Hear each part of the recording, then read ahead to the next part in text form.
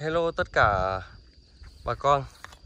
Hôm nay tôi đang ờ, đứng trên ờ, một cái thủy điện Có dung tích lớn nhất Bắc miền Trung Thủy điện ờ, Bản Vẽ. Đây các bạn, đây là thượng lưu của thủy điện.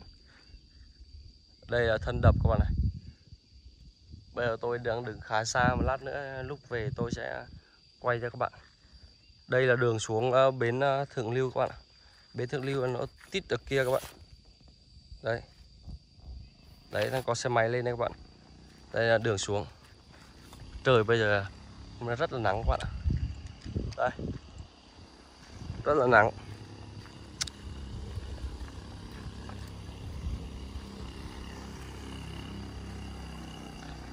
Đây à, tôi sẽ giới thiệu cho các bạn à, người ta đang chở cái gì. Người ta đang chở cá các bạn chắc chắn là cá luôn. Nhanh quá nhìn không kịp. Nhưng buổi ở đây buổi sáng người ta sẽ là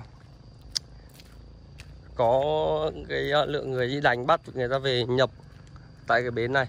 Sau bắt đầu các thương lái nó sẽ vận chuyển đi uh, tiêu thụ ở khắp nơi các bạn ạ. Ồ quên. Đây các bạn các bạn có thể nhìn thấy ờ, đây xuống đấy rất là xa các bạn mùa này là mùa tháng ờ, tháng 7 rồi mà nước vẫn cạn các bạn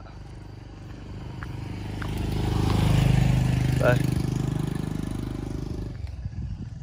Hôm nay là thứ bảy ờ, chắc là một số giáo viên người ta đi ờ, đi dạy về. Ở trên này các bạn ở trên vùng này là còn còn hai xã nữa các bạn di chuyển bằng thuyền. Hiện tại đây là cái xã duy nhất ở tỉnh Nghệ An mà chưa có đường à, đường đường đường bộ đi vào. Chỉ phải vào trung tâm xã thì bằng đường thủy. Đây, ở đây thì các bạn có thể nhìn cận cảnh hơn này. Nhìn thế này ờ, nhìn thế này thôi nhưng mà rất là lớn các bạn ạ. Mùa này tháng 7 nhưng mà ít nước. Nghệ An mùa này đang là hạn hán nên là đập thủy điện cũng không có bao nhiêu là nước? Các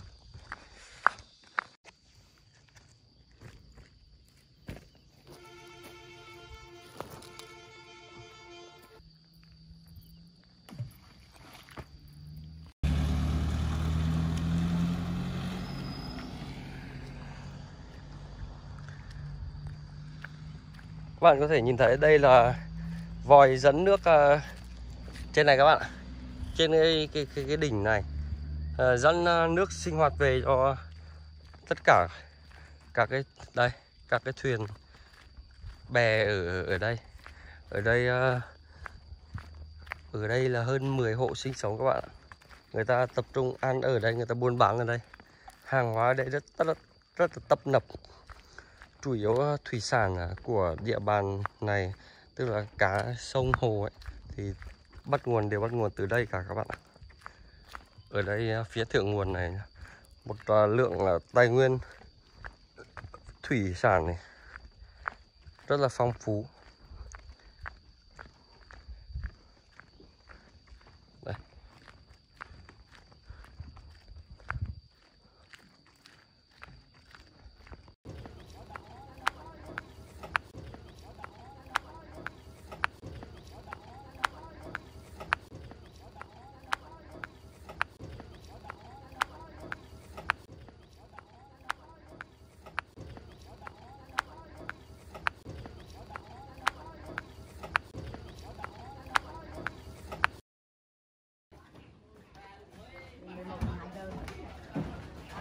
Này là chỗ gửi xe luôn các bạn ạ.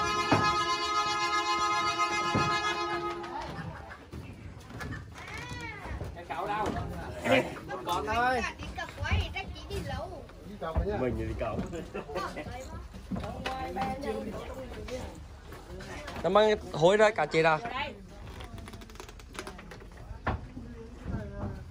bắt giờ anh anh hoa? Bán á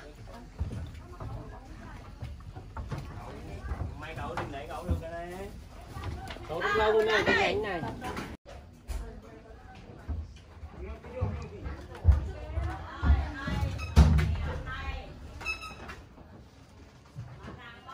Chỗ này à, rất là nhiều à, xe máy các bạn ạ. Người ta đi đánh cá ở trên này trên này. Thì người ta sẽ gửi xe ở đây rồi người ta đi thuyền lên. Hoặc là giáo viên người ta đi dạy ở trên vùng cũng ở trên kia thì người ta sẽ gửi xe đây. Cuối tuần người ta lấy các bạn ạ. Hôm nay thứ bảy thì đây chủ yếu là xe của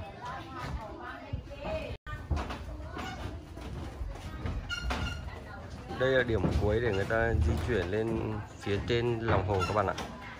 Người ta gửi xe đây rất là nhiều.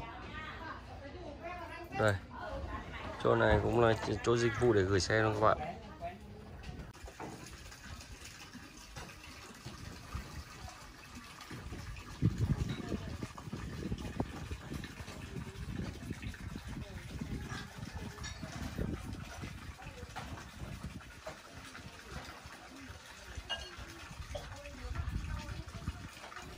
lúc nãy tôi hỏi thăm thì ờ, nhà của bác cái này ờ, cách đi thuyền ờ, khoảng một tiếng đồng hồ các bạn ạ. Khoảng 2 đến 3 tuần thì bác lại xuống mua sắm ở chỗ bến Tương Lưu được một lần. Ở chỗ này thì không chỉ phụ nữ mà kể cả trẻ em cũng lái được thuyền các bạn ạ. Đây là coi như là một phương tiện chính để lưu thông rồi, bởi vì không có đường bộ dẫn đến nhà của họ các bạn ạ nhà phía trên này là ngắt cách bởi à, cái à, dòng sông này. Phương tiện nó duy nhất chỉ là đi thuyền thôi các bạn. Đây là một cái bể trung chuyển à, cá bống các bạn nhé. Mua về và chờ đợi thương lái đến mua thì người ta sẽ để đây để duy trì cho nó đang sống và tươi sẽ được giá hơn và bây giờ tôi sẽ dẫn các bạn vào một nơi rất là thú vị. Đây đây là nhà vệ sinh. Và xem trong này sẽ có cái gì. Ôi dồi ôi, các bạn ơi. Các bạn nhìn xem. Cái gì đây? Có phải như thế này không?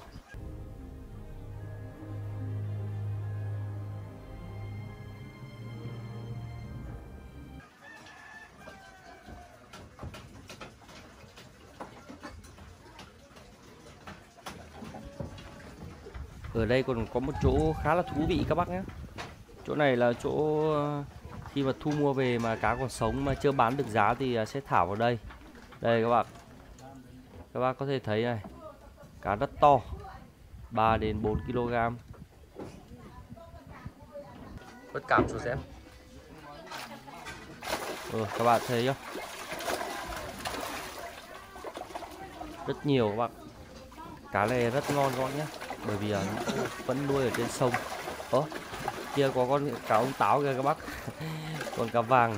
Không biết sao nó lại chui được vào đây, các bạn trưa nay chúng tôi sẽ ăn món thịt nướng, các bác nhé. Đây là thịt lợn. Bác, các bác nhìn này thớ thịt lợn ba chỉ rất là ngon. Thịt rất đỏ, các bạn đây ờ, đây là lá móc mật. Hôm trưa nay thì chúng tôi sẽ ăn ờ, món ờ, thịt lợn nướng móc mật.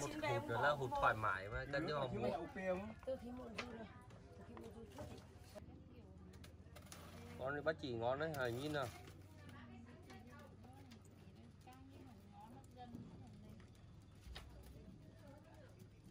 con chị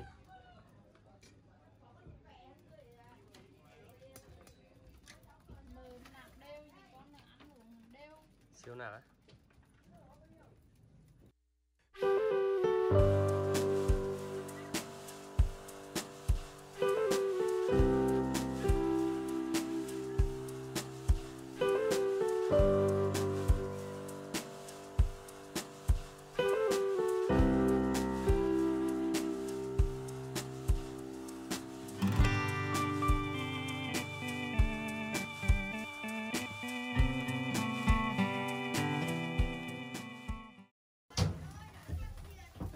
đấy hãy nhìn nào căng chị siêu nào đấy thôi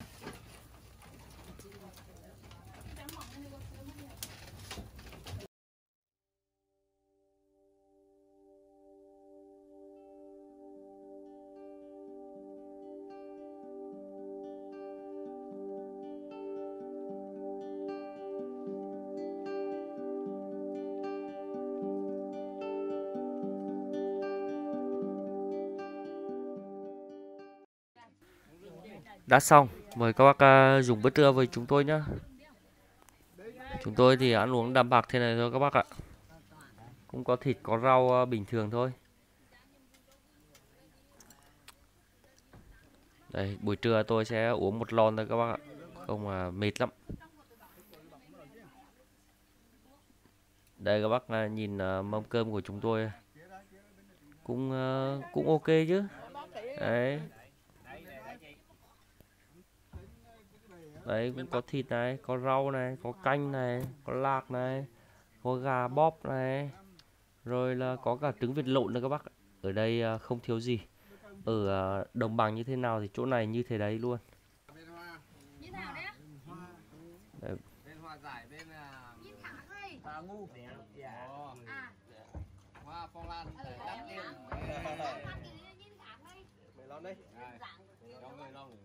Bên là. À, Hoa thì bên là hoa cổ đây, nó đây, đây, đây, đây, thối mùa Năm lon này là à, em không có cái cá nào Lấy nha, lấy. Lấy.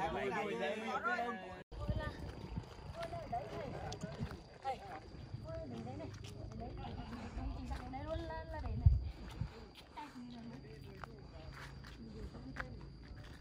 Ờ, thôi đến đây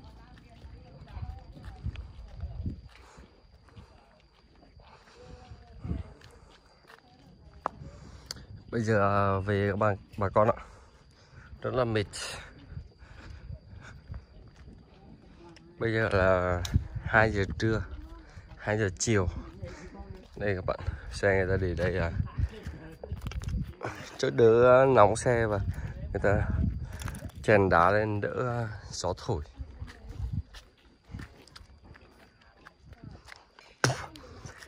Ở đây trưa ở đây vẫn có năng lượng mặt trời các bạn ạ.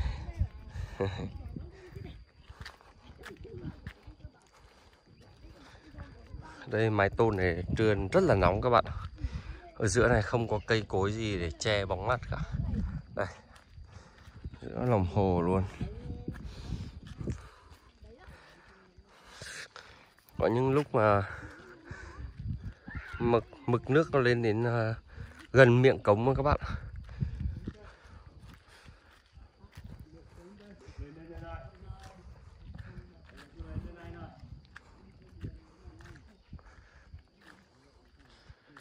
Đây có những thời điểm mực nước nó lên ngập thế này các bạn ạ.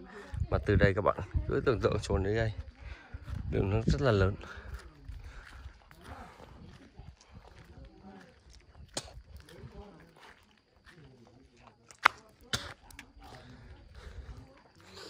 Đây là một đại gia đình sinh sống đó các bạn chỗ này thì không có bến xuống thì cũng rất là khó giao thương đây người ta đi từ bè này sang bè này xong sang sang sang sang bè này. Không có chỗ lên tùy vào mực nước của từng mùa. Mùa này mà có nước thì chỗ này lại, lại, lại hot các bạn ạ. Nó lại ngang cái mặt nước này. Đấy chỗ này xuống bè luôn. Nhưng mà bây giờ không có nước thì người ta lại không có đường lên. Tùy vào thời gian. Chỗ này bây giờ coi như không buôn bán được gì các bạn đây mùa này cạn nước thì không buôn bán được gì bởi vì người ta có, có xuống đường có đường xuống đâu. Người ta phải đi qua bao nhiêu nhà thì người ta mới đến đây thì rất khó để người ta vào mua bán.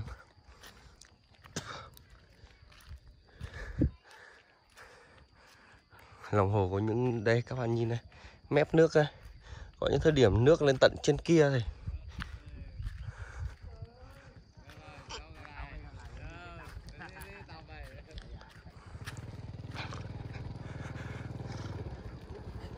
Cháu về đây. Dạ.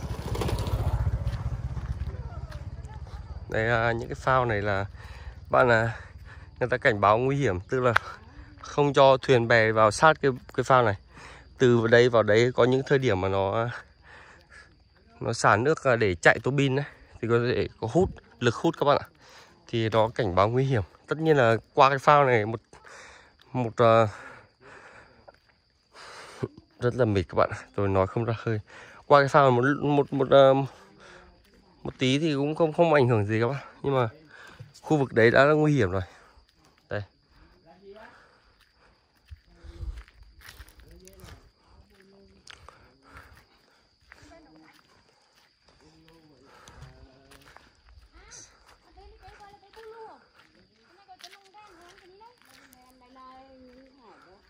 Xa các bạn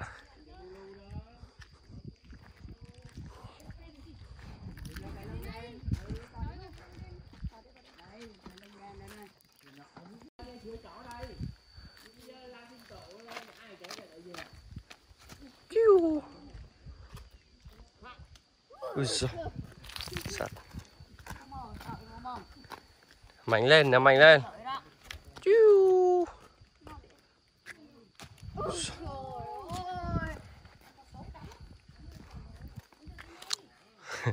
Xe chúng tôi để đầu kia các bạn. Đi. Tít tận đầu này. Tôi ờ, xin chào ờ, các bạn. Cảm ơn các bạn đã xem hết video này. Xin hẹn gặp lại các bạn ở các video tiếp theo. Bye bye.